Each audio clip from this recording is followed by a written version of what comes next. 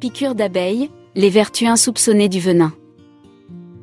Le venin d'abeille a été connu pour ses bienfaits il y a bien longtemps, dès la Grèce antique. On retrouve également des mentions dans les textes chinois. Hippocrate en parlait également à son époque et cette méthode nous est parvenue jusqu'à maintenant. Elle est plus répandue en Asie, en Europe, et se ferait son chemin en Amérique du Nord.